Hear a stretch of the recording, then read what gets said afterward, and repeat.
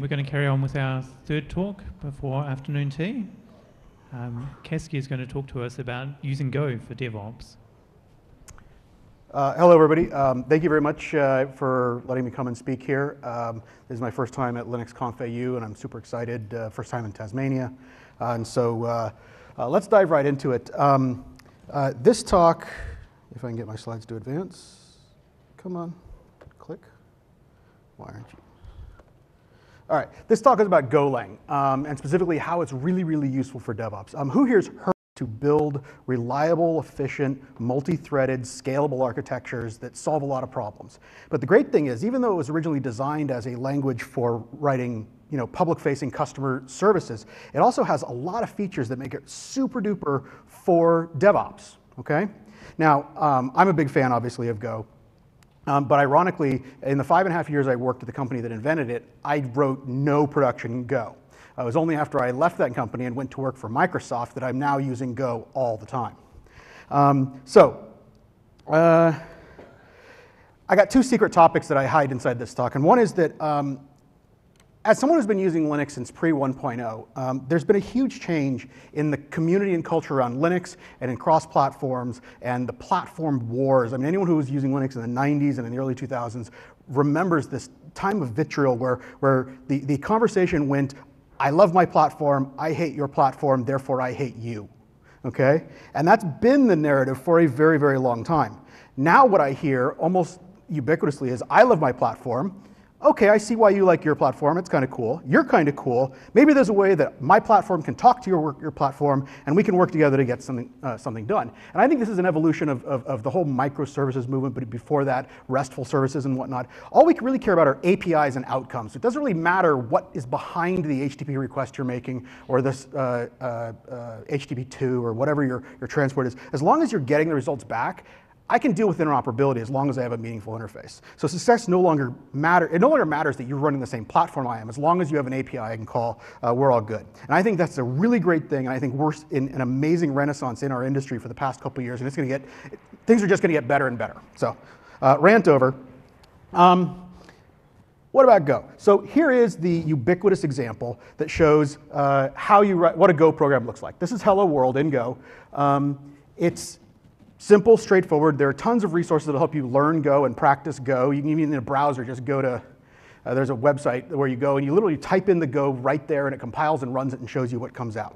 So this is what Hello World looks like. Um, it's simply you have a function that, that you, a library that provides string formatting that also provides the print line function and you simply say, well, here's a string, print it out for me and you're good to go. Um, when it comes to building this program, um, you simply say go build and main.go. And what you get is a, program, a file called main. And as this file output shows, I've got an ELF 64-bit executable.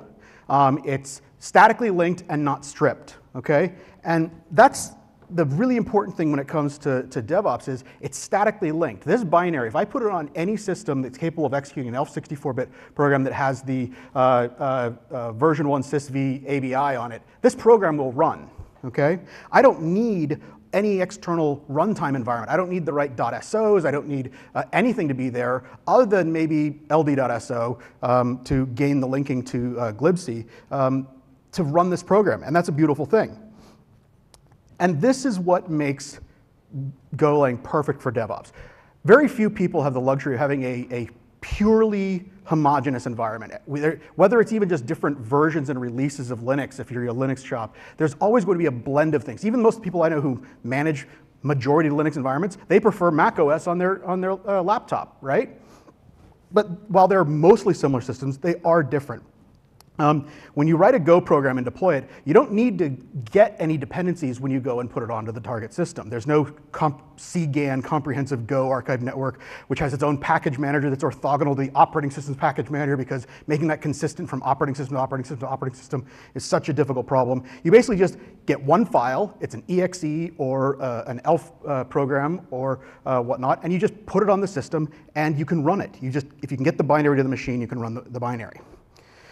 So um, we live in an explosion of platforms. Now, while it is true that with Bash uh, and with Python. You can kind of get some cross-platform stuff, but I've worked in environments where they try and make portable Python programs, where there's one program that does some really useful administrative task, and they try and keep the same kind of runtime in all different environments, but then you end up with Python 2.x or, or 2.x plus 1 on some of the systems, and 2.x minus 1, or even you know, Python 3 on some of them, and now you've got to deal with all these cross-platform compatibility issues, as well as just simply deploying the program requires you to deploy all the right packages that are dependent on it. And you basically end up with a separate management function just to manage the tool that if you're, if, if you're a sysop, that tool is trying to manage something which is the actual job.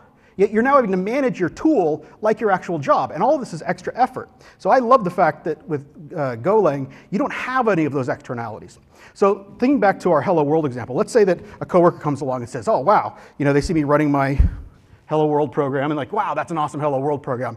Except my system, uh, it runs on Windows. I'd really like a Windows version of that Hello World utility because you know, it's the best Hello World uh, uh, they could imagine.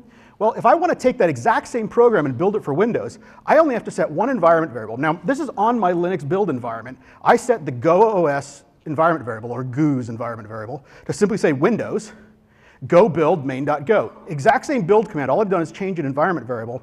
And I now get, instead of a main, I get a main.exe.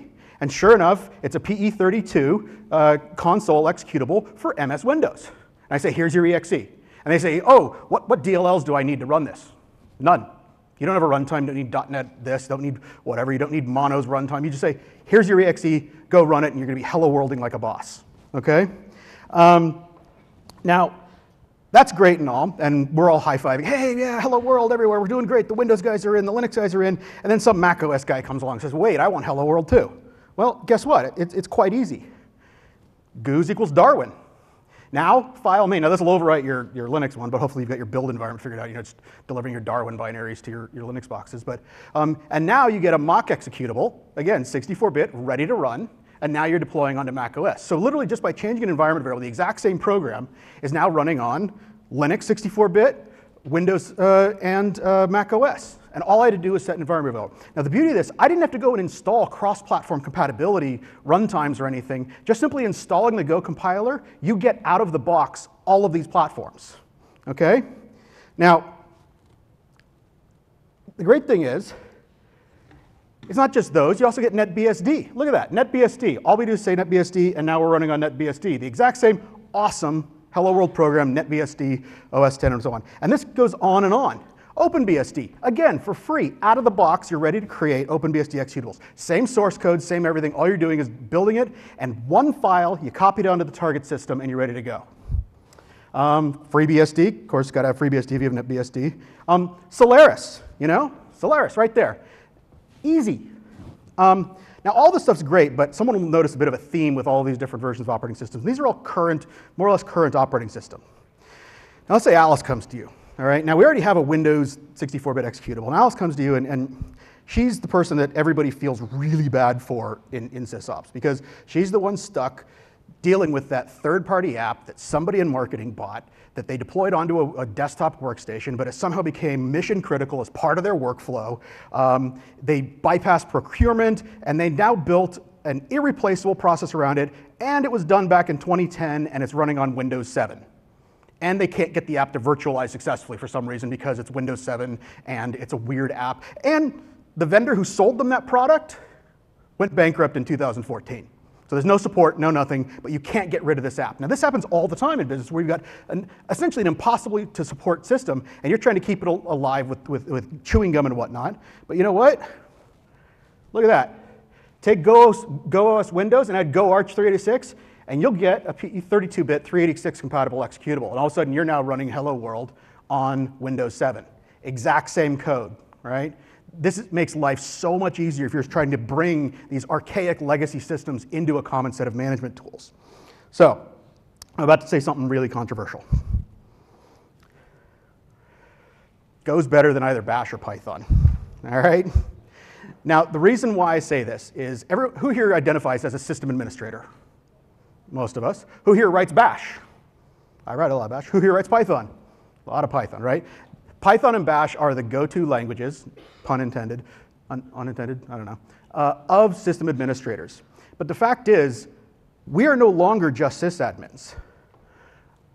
We are dealing with services. Our management tools are now becoming part of workflows, part of critical workflows, business processes that need to be supported and maintained on a going forward basis. That means we need to begin in our day to day work applying rigorous software engineering discipline to how we manage our stuff. I mean, 15 years ago, it was kind of a novel idea. Wait, you mean I should check my bash scripts into revision control? Nowadays, if you find someone who isn't checking into to Git or to uh, uh, some other version control system, their management tools. You're like, why aren't you doing that? Why is everything on your laptop? And if you're not here, we can't run the tools that we do to manage our business, right?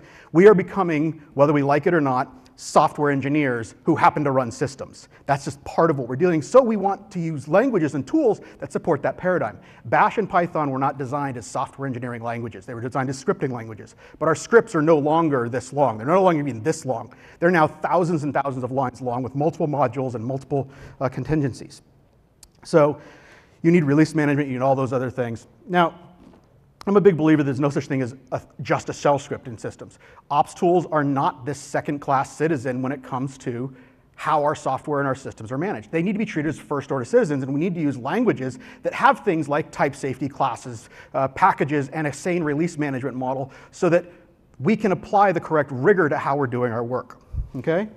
Now, so congratulations, you all go and say, oh yeah, I'm a software engineer and a sysop. So that's what DevOps kind of comes down to, is applying software engineering discipline uh, to the sysop uh, business, business function. Um, if you're still the sort of sysop who believes your job is to push buttons and run scripts, you're in a dying career. No longer is that enough to run the systems at scale that we need because if you have a button to push for a business process and now there's a thousand buttons, you have a thousand times more work. If you automate the pushing of that button, you now have the same amount of work whether you have a thousand or 10,000 or 100,000 systems. And I think this is a good thing because humans are really valuable resources. You are all smart, intelligent, capable, lateral thinking things. And when you have a, a, a, a ticket whose workflow is, oh, go look up this procedure, run these 15 different commands, copy and paste this here and here, and then hit enter, you're being treated like a, machine. And that shouldn't be our default state. Humans should not be treated like machines. Machines should do the machine stuff. Humans should do the stuff that requires the intelligence and the creativity of a human being. Um, so let's get back into the uh, um, uh, Golang stuff because Hello World's a very simple program and it actually doesn't do anything useful for, uh, for um, uh, coding. Most of what our scripts do is run other tools, right? And so uh, Golang has an ability to run subprograms, right? And it's a little bit more, uh, it's syntactically different than Python, but it's really not much different than using the Python subprocess module or any of the other wrappers around it that try and solve all the other problems around it. And so here I've got something that just runs the date command. Um, excuse me, captures the output uh, and then prints it out. Right? But that basic pattern of I want to run a program, capture the output, and maybe do something to see what the output was is endemic in many, many management scripts and utilities. And it's no harder to do in Go than it is to do in Python. The difference is, remember, across Darwin, OS 10, uh, I'm sorry, OS 10 and Darwin, uh, uh, Windows, uh, Linux, BSD, Solaris, you can write one script and it runs on all those platforms without you having to maintain compatible runtime environments on all those platforms. So when it comes to running a subprocess, we very, end up, we very often end up dealing with platform-specific code. In this case, I'm just trying to get you know, the, the dump of the status of all the network adapters. Now, this is obviously a, a Linux solution. Um, and if I was trying to write a tool that captured this and then maybe uploaded it to a config database or something, I would need to do something different for different operating systems. So what we'll do is we'll refactor this a tiny bit, and instead of just directly executing the command, we're going to use a little bit of syntactic sugar and say, I want to call a function that says, give me the appropriate command to run for the environment I'm in. Because even though it is cross-platform and all that, there is still operating specific, operating system specific code that you have to work with. But the good news is the language itself has built-in support of how to interface and deal with this is the code path for operating system A, this is the code path for operating system B. So we take the actual uh, finding of that command and we turn it into a, a, function that gets us the command. And then that syntactic sugar exec command cmd zero and basically says call the exec thing with the first thing in the array followed by everything else in the array, basically a variadic function expansion. So if you've got three elements in the array, it'll call exec appropriately. If you've got 50 elements in the array, it'll call it with a 50 element call. All right? So Our get command function simply returns an array um, which contains ifconfig and hyphen a, and this is how we have extracted out the operating, operating system specific elements of that command line. So we then take that function though, and we take it out of that main.go file and we put it in a file called main underscore linux.go. Now, the, the Go compiler is smart enough that if it sees underscore and something that could be a Go OS environment variable, it will only include that code if you're compiling for that target. So this here is the exact same uh, bit of code as the very first example, and all it does is gather the uh, ifconfig output. But we can now add main underscore windows.go, and look at that. We have ipconfig slash all instead of ifconfig dash a. We now have the exact same functionality for gathering uh, uh, IP configuration information, and we only have to maintain one tiny slice of code that's different per platform. All right? Ah, but what about these BSD guys? Eh, are we going to leave them out of the fold? No, we're not, because Golang actually has even more capability to define platform-specific code.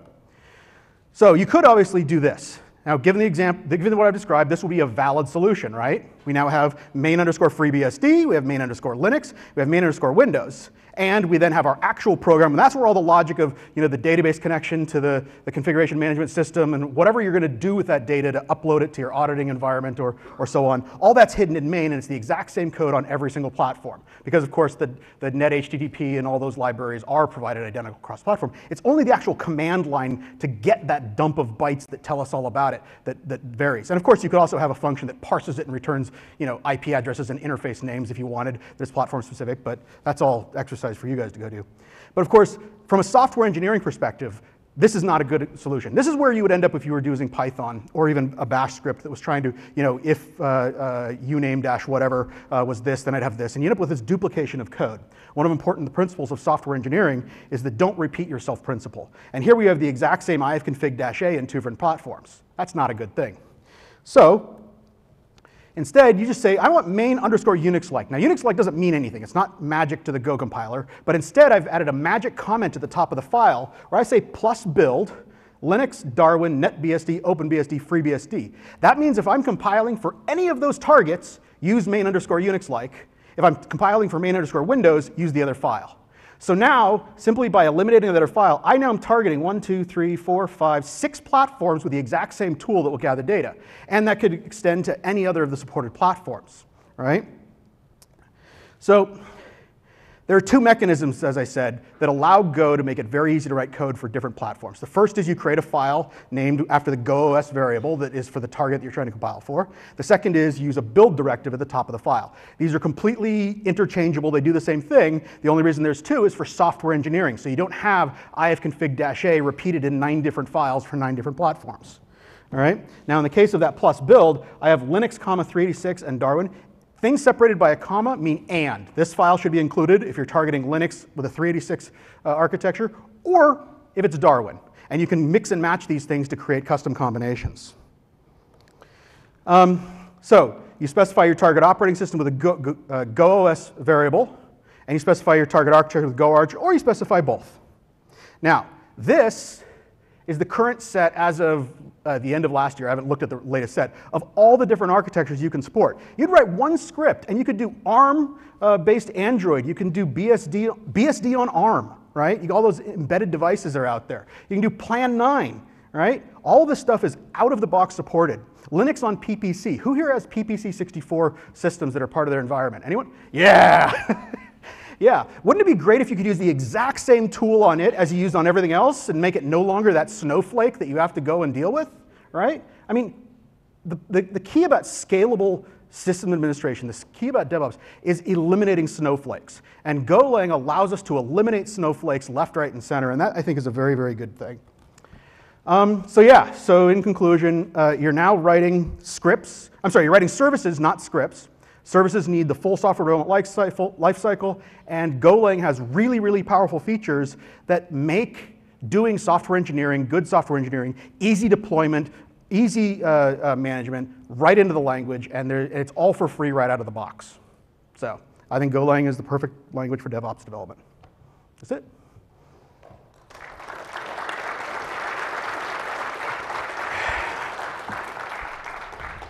All right question over here.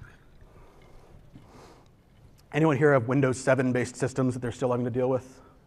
Yeah, one, two. Yeah, there's always some sad person where I feel really bad for you. We're hiring if you just want to run away from that. Hi. The uh, slash slash plus build kind of directive as a comment, it I, kind I of. can't, I can't see where you are. I don't know where to look. That's all right. There we are. Okay. um, as a comment feels kind of different to a, a modern language. Did that kind of come into the Golang a bit later than the you know the build underscore Goos? Um, I can't. I'm not an expert in the history of the evolution of Golang, so I can't say what the motivation was. Um, having it at the beginning of the file, if you don't want to embed it in the file name because you often might have many, many different combinations that, you, that would have one single solution, a comment at the beginning, I mean, it's a very common developer-oriented thing to use comments to control compiler behavior. Um, you know, prag- pragmas are another name for the same concept where here I have something in my code that's not part of the program, but it's really metadata for the compiler to understand how I intend this code to be used. And comments is traditionally a very standard way of, of achieving that end. Is there a bunch of other stuff in Go like that? Other pragmas?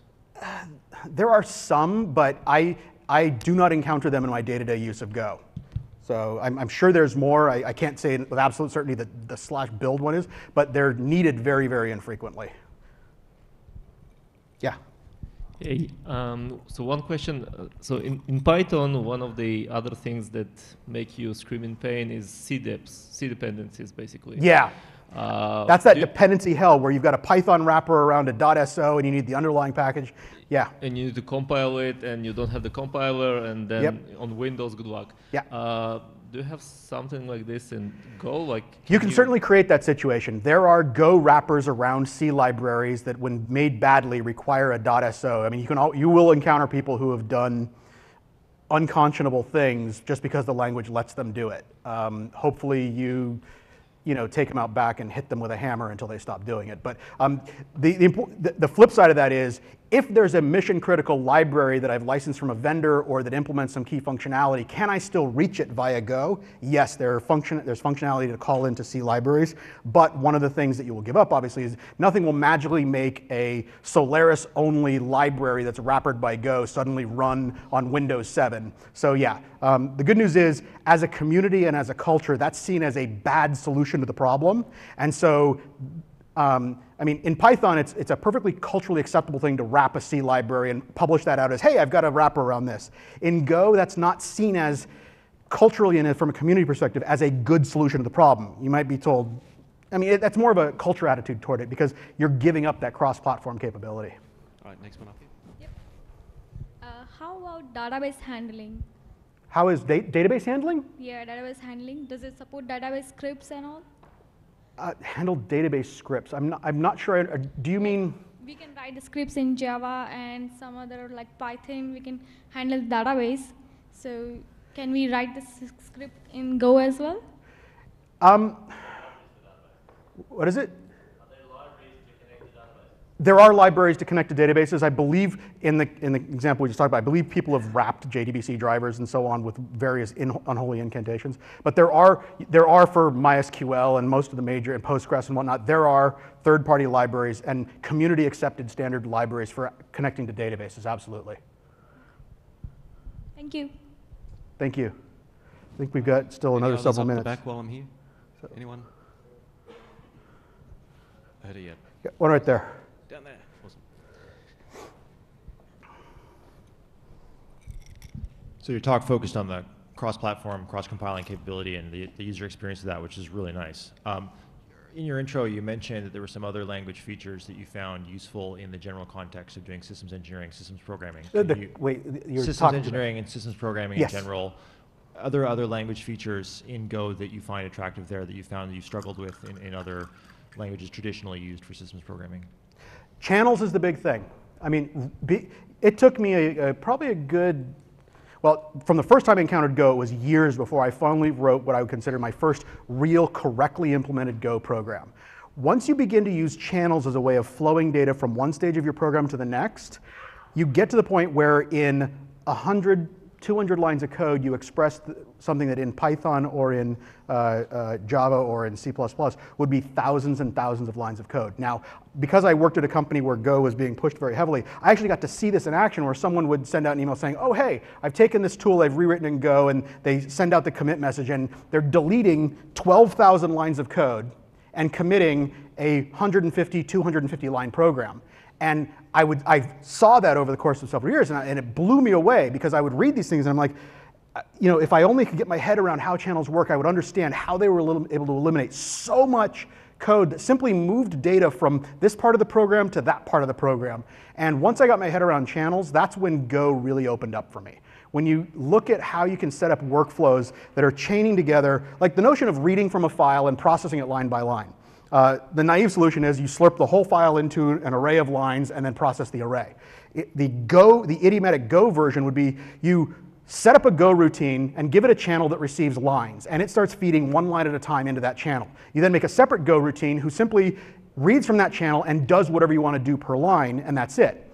But at that point, because you've abstracted away the reading from the file and the processing of it, you can then take that function that's, that reads that file and make it a streaming one that can read multi-terabyte files. Or instead, it does scattered reads from anyone who has to deal with HDFS uh, output where the file is split up among 100 or 1,000 different shard files.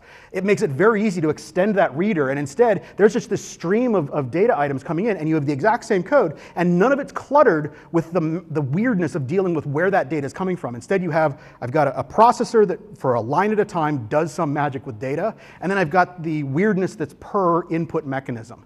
And that's where you end up eliminating massive chunks of code. Like, okay, if I'm doing file input, do this. If I'm doing uh, HDFS, if I'm reading from uh, Azure uh, um, Block Store, if I'm reading from, from uh, Amazon's uh, uh, S3 or something, you get all these special cases, but you can hide those in the special case handling code, and the actual logic ends up in one place. That also means when someone else comes along and says, hey, I want to extend this, they have one place where they do the extension and the rest of the program just works. And this is good software engineering because you get reusable components, reusable subsystems.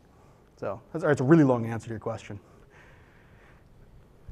All right. Are there any more? We probably have time for one. Yeah, we still have a, a minute, and one full Minute. minute. Anyone? He's got a quick one. No? It looks Oh. like that might be it. Thank I'll you very one. much. Yay. All right. Thank you very much.